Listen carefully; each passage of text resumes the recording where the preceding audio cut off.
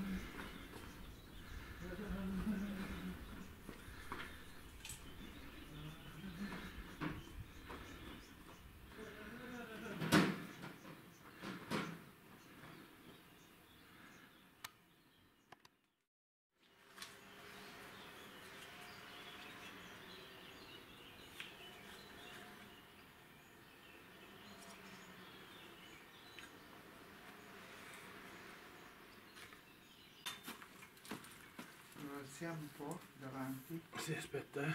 per ricercare le... arriva. Fantastico.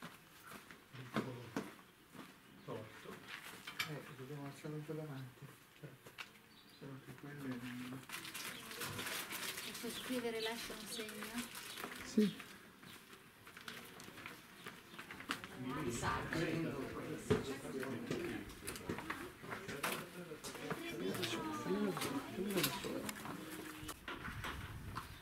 Scusa, non posso lasciarlo arruffato?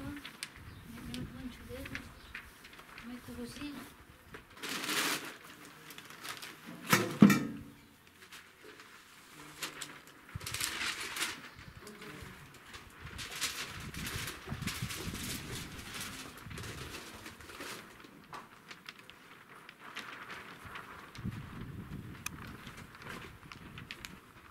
Usa.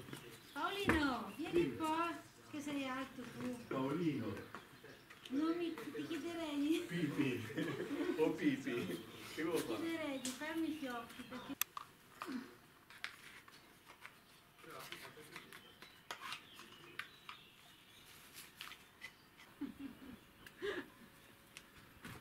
No, e... Eh, aspetta, aspetta.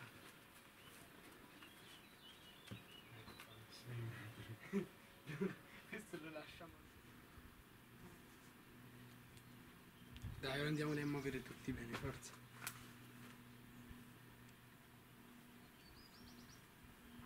nella sua vita. Perché senza la conoscenza del bambino non possiamo noi illuderci di, di educare, di formare, di intervenire positivamente. Non c'è processo educativo che non sia, che non sia inserito sulla realtà del bambino. Piacciono più.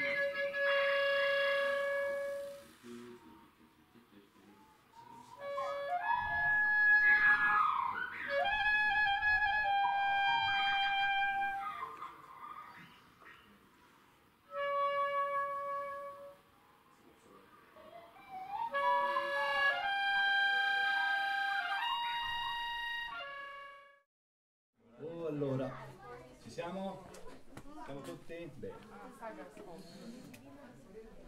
Allora abbiamo un po' di ritardo, ma eh, vista la giornata che praticamente immagina- immaginavamo che, che- che con un tempo così eh, si stesse molto volentieri anche al fiume o al mare, e allora abbiamo ritardato tutto di un'ora, addirittura di un'ora e mezza rispetto al sito, ma Vabbè, faremo tutto bene. Ehm, dico già subito, prima che mi dimentichi, che eh, eh, al termine di questo happening ehm, ci sarà la presentazione di, di un progetto proprio nella par- a metà tra questa piazzetta e, e- sì, a metà tra questa piazzetta e il chiosco dove si mangia, la presentazione di un progetto eh, The Other Side, l'altro lato, dell'artista finlandese Ulla Taipale e poi si andrà a cena e poi nella sera ci saranno altre cose giù nella parte bassa del paese verso il cinema. Oh, io intanto vi presento le persone eh, protagoniste e autrici di questo happening che sono eh, un biellese come me, Enrico Strobino, eh, che è una, un'autorità. Lo, diciamo, lo so che è brutta, non tu vuoi sentire parlare di, di autorità, ma sei un'autorità, eh, te la sei andata a cercare nel campo della pedagogia musicale, così come Paolo Scatena di Chianciano, un direttore di banda che è arrivato a dirigere addirittura mi fa ridere però, ha diretto la banda, è il primo occidentale, forse l'unico che ha diretto la banda nazionale dell'esercito popolare di liberazione della Cina. Ecco, eh, sì, è lui. Beh, lo merita.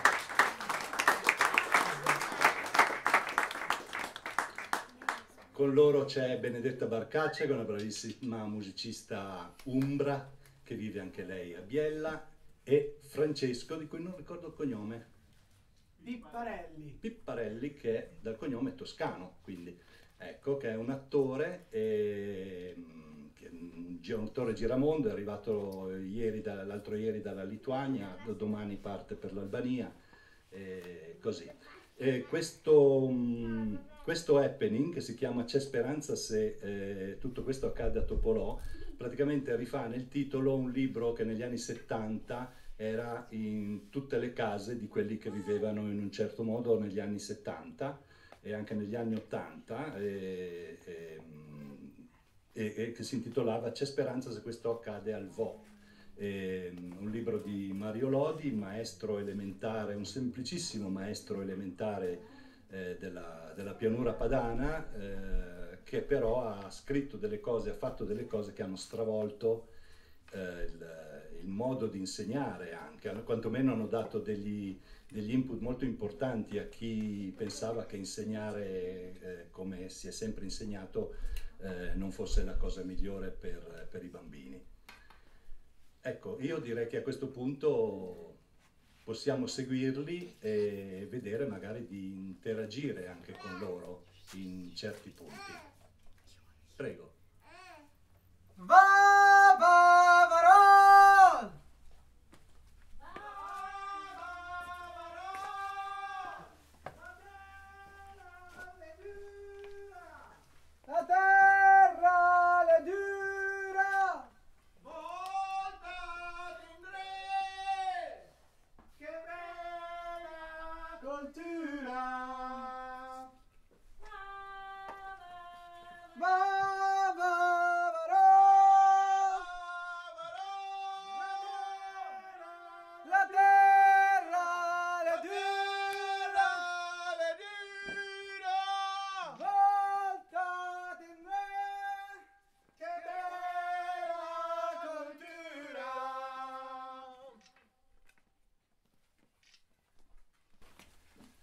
Buonasera, benvenuti a tutti e a tutte. Eh, questo piccolo canto, questo frammento di canto è un canto popolare di Piadena, di questo paese della pianura padana, che è il paese dove ha vissuto Mario Lodi. Mario Lodi era un maestro, è nato cento anni fa e quest'anno infatti sì, in tutta Italia ci sono molte manifestazioni in suo onore che celebrano questo personaggio. Eh, siamo molto contenti di poter portare le sue parole, il suo pensiero e la sua idea di scuola in questo posto qua, cioè a Topolò. Non a caso abbiamo scelto, pensiamo appunto che la sua idea di scuola eh, possa servirci, debba servirci per continuare a sperare nella costruzione di una scuola felice. E noi pensiamo che sia ancora possibile questo, anche se molti segni, come dire, ci danno testimonianza contraria. Il teatro è un luogo pensato per vedere e per ascoltare. E così qualsiasi luogo pensato in tal modo diventa teatro. Anche un paese può diventare teatro, o una classe di scuola, o un paese pensato un poco come fosse una classe. Qui sono le parole a farsi luogo, luogo di ascolto a viva voce, luogo di attenzione e chissà di meraviglia. Un teatro dell'ascolto.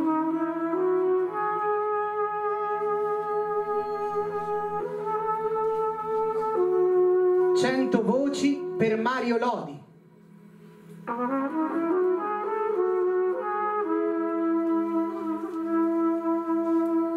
Un teatro della buona notizia, della conversazione. Siamo amici, c'è un rapporto eh, dell'equilibrio e sono importanti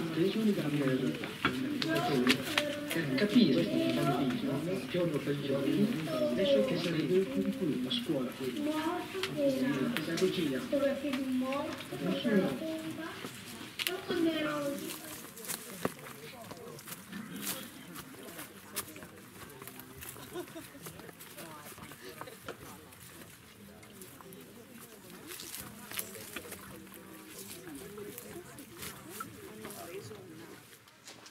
Mia madre, snella, nel suo unico abito nero di seta, mi faceva indossare il vestito delle feste e mi accompagnava insieme a mio fratello dalla nonna di Vo, uno per mano.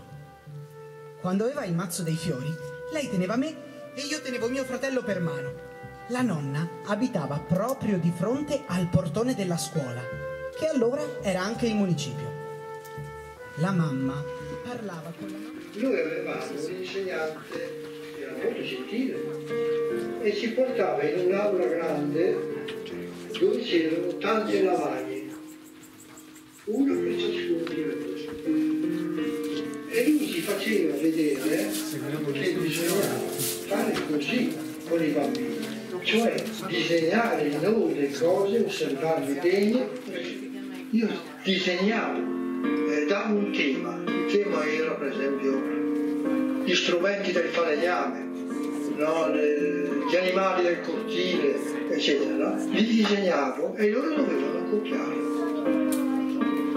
E se copiavano bene gli davo un bel voto oppure no. Ecco, questo però fino a un certo punto. Un giorno avvenne un fatto straordinario. Un giorno un bambino che si chiamava Attilio venne a scuola con un cartoccio in mano dove c'erano dentro dei colori, dei colori che avevano dimenticato nella sua cascina dei, dei pittori che avevano dipinto le facciate delle case, quelli che erano avanzati li avevano lasciati lì. E, e mi disse, ho trovato questi colori bellissimi, erano, erano puri, no? Perché allora eh, i muratori facevano così, li mescolavano con la calce no? e diventavano dei colorini spenti. Ma lui diceva, no, ma io non voglio fare i colorini come fanno i muratori, così non si possono adoperare.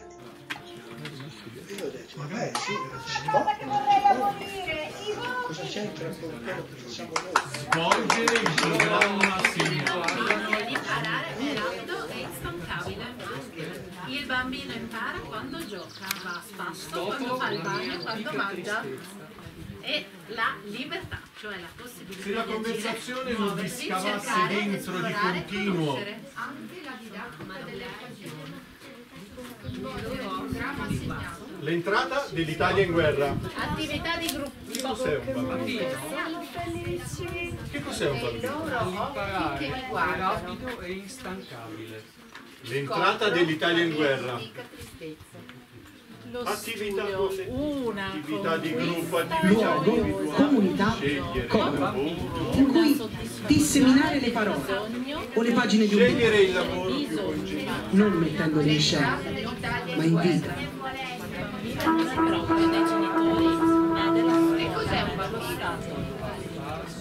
Cento voci per Mario Lodi. Imparare a parlare!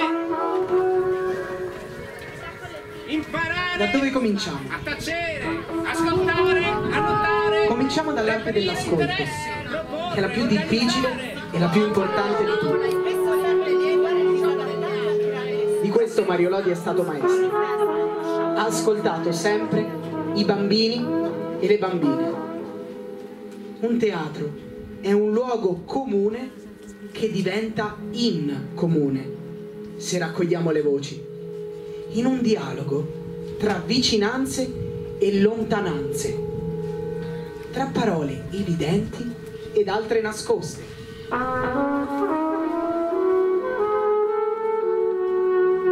Cento voci per Mario Lodi.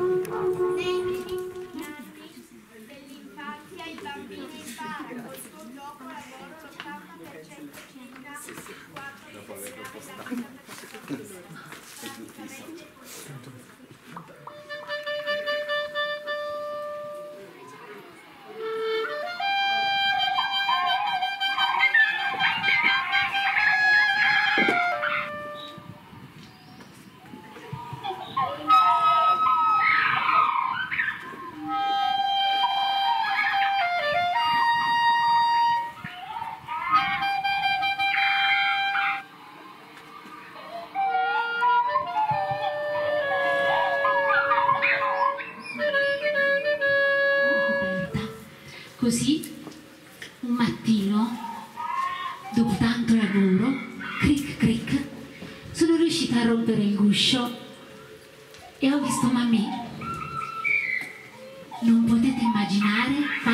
Bella la mia mamma. Mi guardava e diceva come sono felice.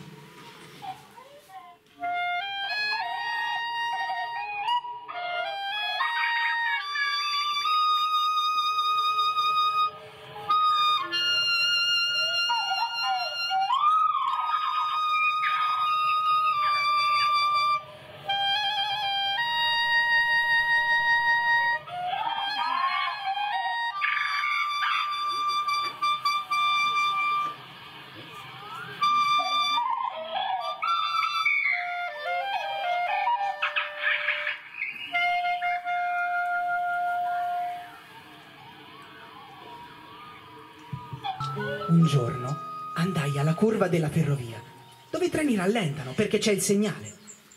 Avevo le tasche piene di cianfrosaglie e le posai sul binario, un po' lontane una dall'altra. Poi mi nascosi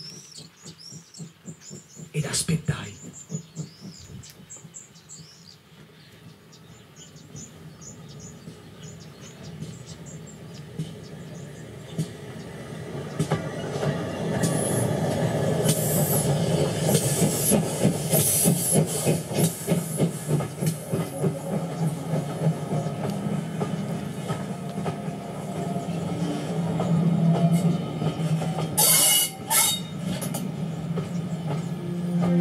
Quando il treno passò, in una nuvola di vapore, tutti gli oggetti sparirono. Li ritrovai fra le traversine e in mezzo ai sassi.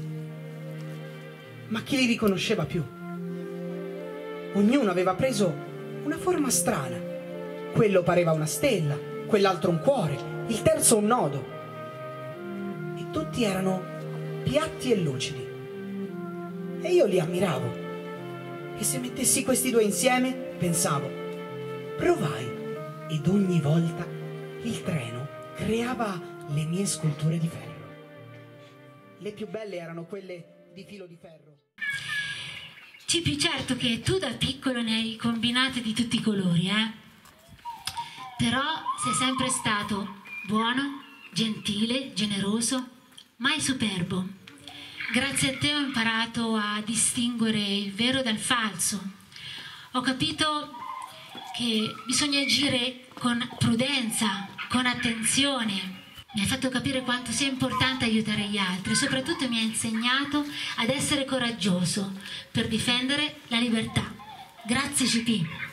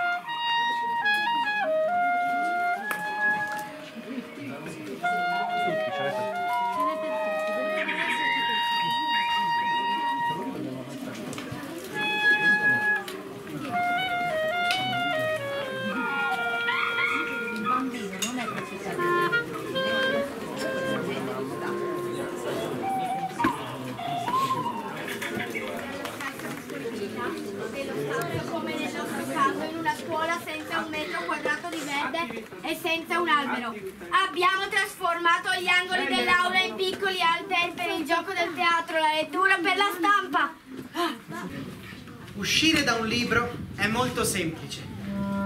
Spingete piano il cancello del codice a barre che si trova sul retro e saltate nella realtà. O più esattamente in un'altra realtà. In mancanza di codice a barre si può anche aprire una O, sollevare la molla di una U o far ruotare su se stesse le antine rotonde di una B, di una C, di una D o di una P. Un libro non è mai una prigione. Bisogna infatti sapere che la realtà comporta gradi differenti, un po' come i piani di un palazzo. Nel seminterrateo, per esempio, avete le realtà incoscienti, poco illuminate. Là lavorano gli psicologi, gli psichiatri e fanno fortuna gli psicanalisti. Al piano terra risiedono le verità stoiche che danno sulla strada.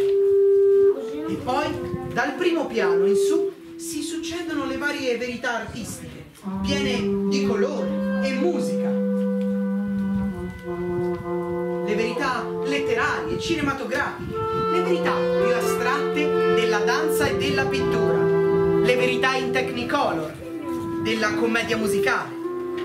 Sono piani rumorosi, dove si canta, si grida, si piange.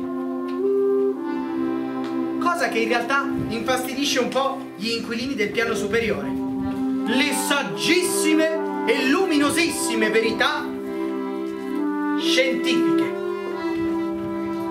Infine, ancora più in alto, così in alto che appena si intravedono, in cima, in cima al grattacielo, vivono le verità filosofiche e religiose.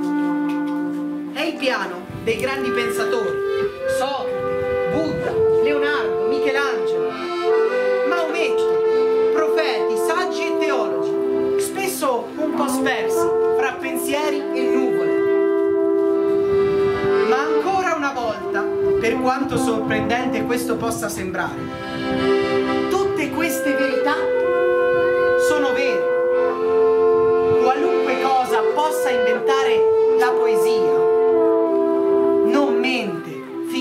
resta poesia. I racconti più strampalati sono tanto veri nel loro mondo quanto le tabelline possono esserlo nel loro. Al contrario, se le tabelline volessero essere una favola e Adamo ed Eva affermassero di essere dei personaggi storici, oppure il gatto con gli stivali vi dicesse di avere qualcosa in comune con la zoologia, essere vero, deve, per quanto possibile, rispettare il proprio piano. Il guaio è che ovviamente in questo palazzo, come in ciascuno di noi, i piani comunicano con scale d'ascensori e così anche verità differenti alla fine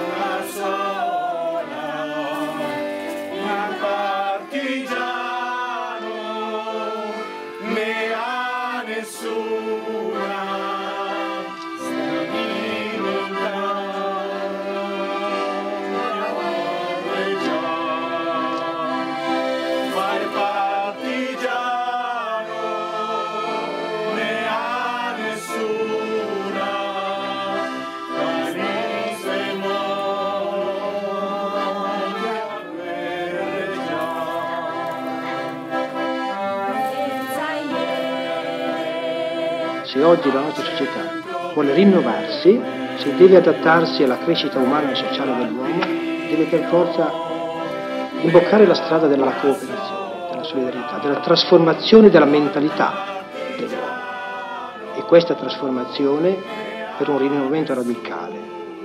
La scuola deve contribuire in massima parte.